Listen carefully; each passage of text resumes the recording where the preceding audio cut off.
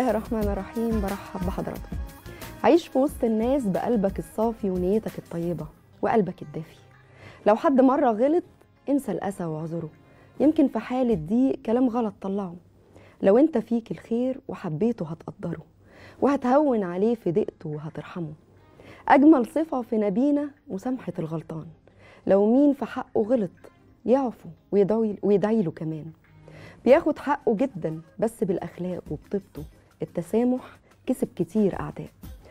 ولخص التسامح في جملة صغيرة وقت الخصام الأجمل العفو عند المقدرة.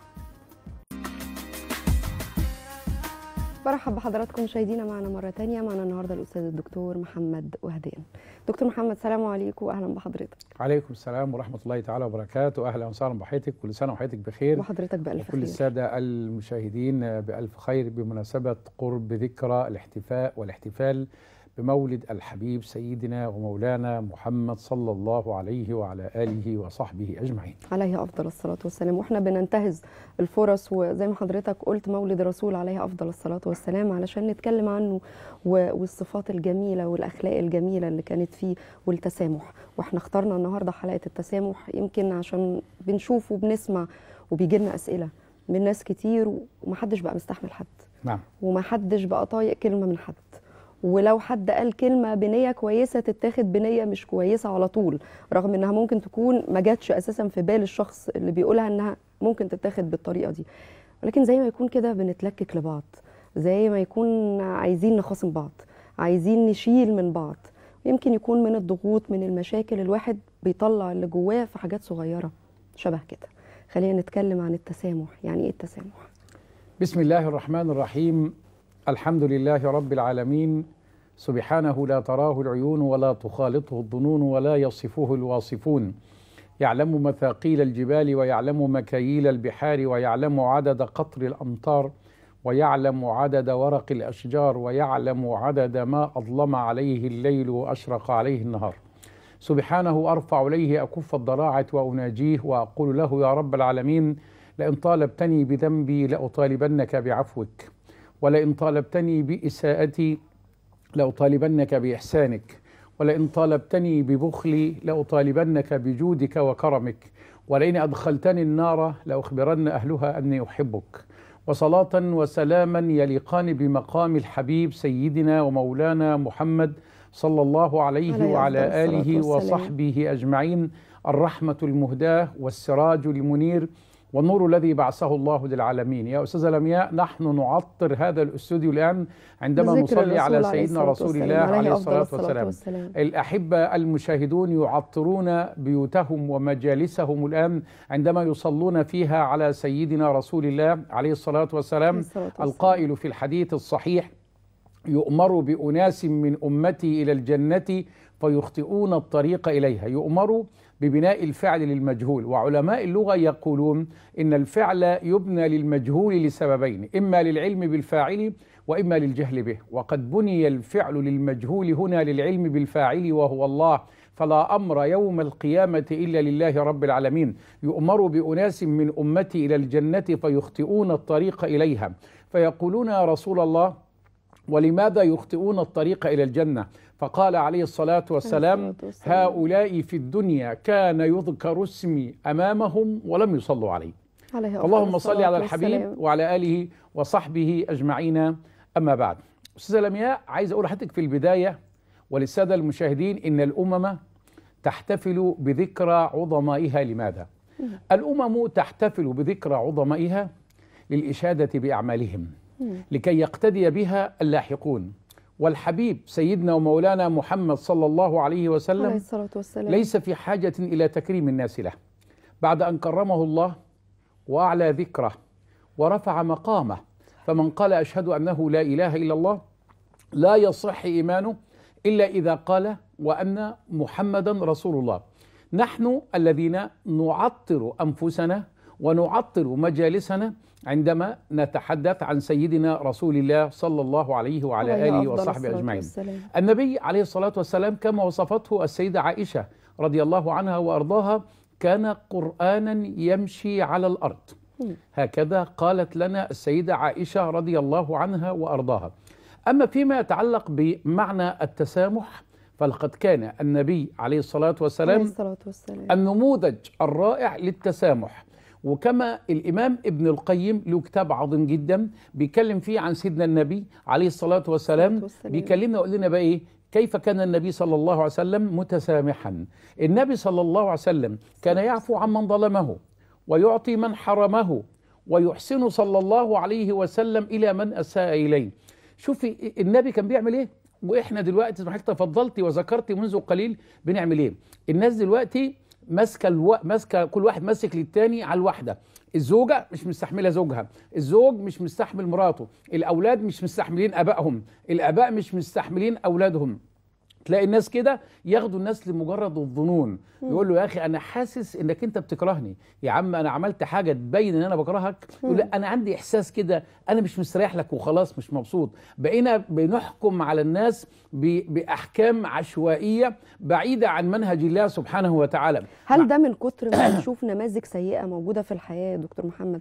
ما بقى ما بقاش عندنا ثقة في بعضنا؟ لا سيدتي الفاضلة هذه لها أسباب كثيرة لعل من أهمها من وجهة نظري الشيطان الرجيم.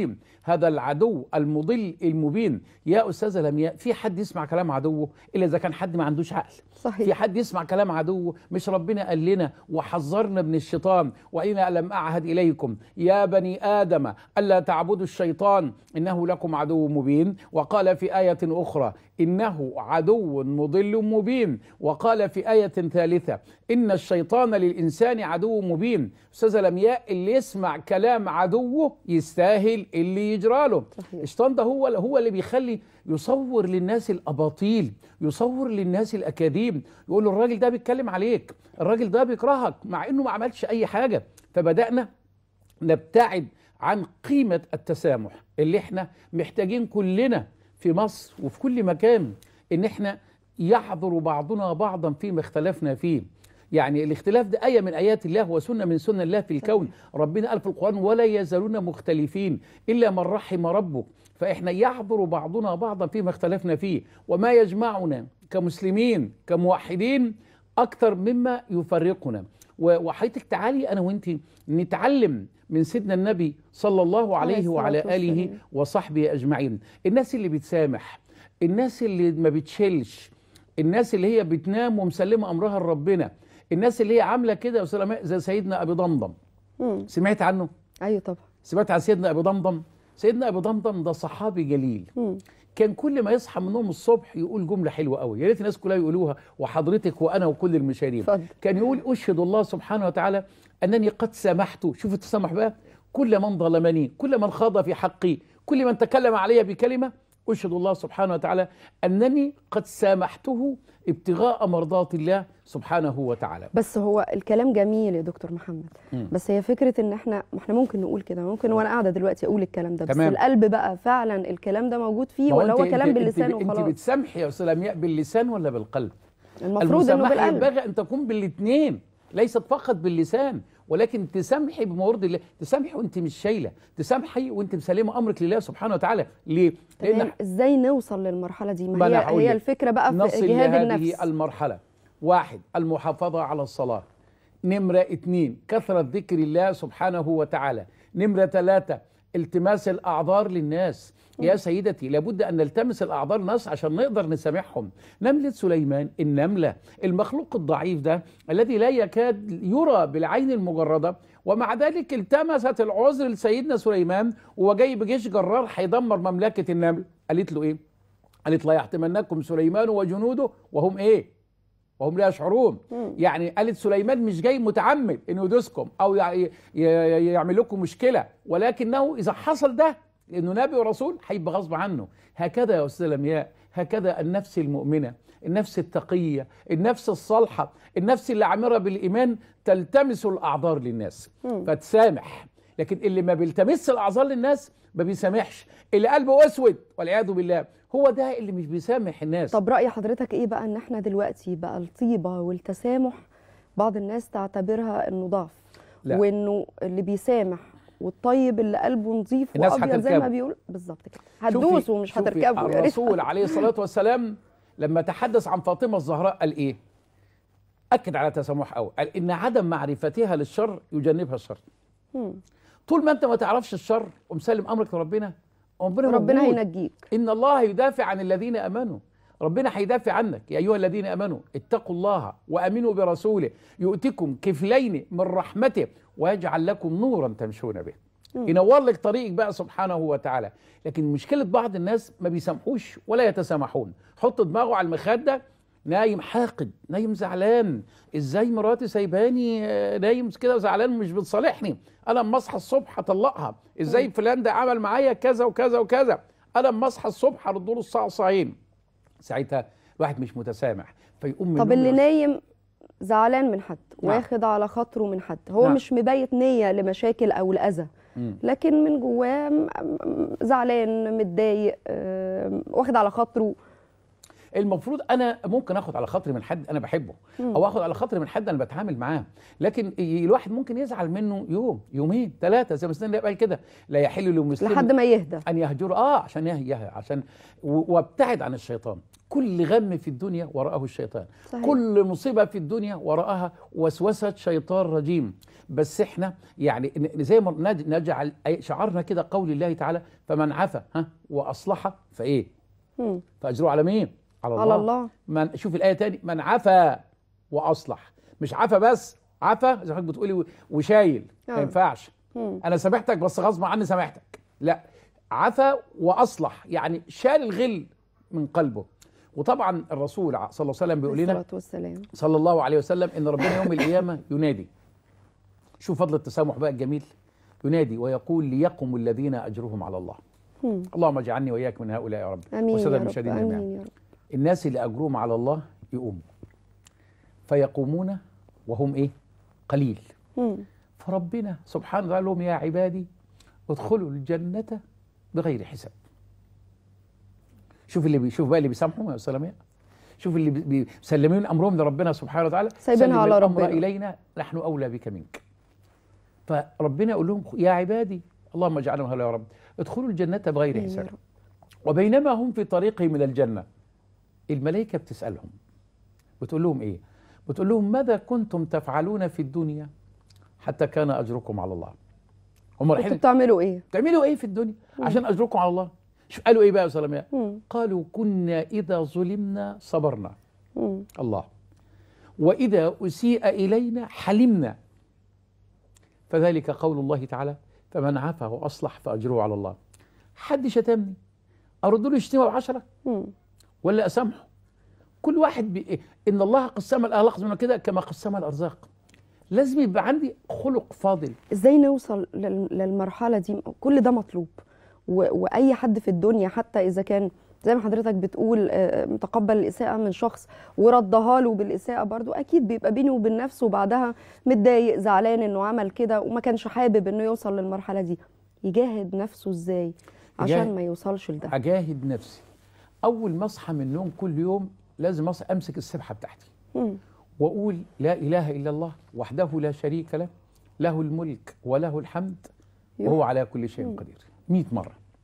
حد هيسألني جبت الكلام ده منين؟ جبت العلاج ده منين؟ جبت الدواء ده منين؟ ده دواء مش عندي يا أستاذ لمياء دواء من عند الحبيب صلى الله عليه وسلم حبيب الله. والسلام. صلى الله عليه وعلى آله وصحبه أجمعين. قال عليه الصلاة والسلام عليكم.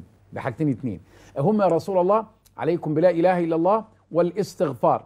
فإن الشيطان قد قال أهلكت بني آدم بالذنوب وأهلكوني بلا إله إلا الله. مهم جدا نمرة اثنين أو لا إله إلا الله كل يوم الصبح. مهم جدا يا أستاذ لمياء لكل الناس. اتوضا أحرص إن أنا أكون متوضي دائما. لأن الوضوء سلاح الإيه؟ المؤمن. مش هتوتر مش هتعصب. حتى أما أجي أنام اتوضا تصوري سيدنا النبي بيعلمنا يا جماعة حاجة حلوة قوي. بيقول من توضأ للنوم. بالله عليكم يا كل المشاهدين بسألكم فيكم حد بيتوضا للنوم؟ قال صلى الله عليه وسلم من توضأ للنوم. جزاء عند ربنا وسلم يا. من توضأ للنوم بات بين دثاره ملاك يستغفر له حتى الصباح. شوف العظمة. الدثار يعني إيه؟ يعني بين اللحم والثوب. وأنت نايم وسعيد بالنوم وملائكة عمالة تسجل لك حسنات. لغاية إيه؟ لغاية الصبح. لمجرد إنك عملت إيه؟ في أبسط الأمور هو من إنك ساعة ما. حضرتك قلتها وأنا الحمد لله بتوضى قبل ما أنام. ده جميل قوي. شيء جميل جدا. مهم جدا كمان حضرتك بتسالي الناس تعمل إيه؟ مم. ربنا لما كان القران قال لنا في صبر وفي حاجة اسمها الصبر الجميل. مم. مش كده أيوه وفي صفح وفي صفح إيه جميل مم. مش كده طيب وفي هجر ربنا وصف الحاجات دي في صبر جميل وصفح جميل وهجر جميل مم. إيه الثلاث مصطلحات دول مم. وخصوصا الهجر الجميل ده آه. يبقى جميل إزاي الصبر الجميل هو الصبر بلا شكوى مم. إن أنا أصبر وأنا لا ساكتة تشكي إلا لله.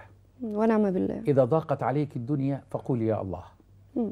إذا ظلمك أحد الظالمين فقولي يا الله إذا أصبحت فقولي يا الله إذا أمسيت فقولي يا الله خلي يا أستاذة لمياء حياتك كلها لله سبحانه وتعالى ده اسمه إيه ده؟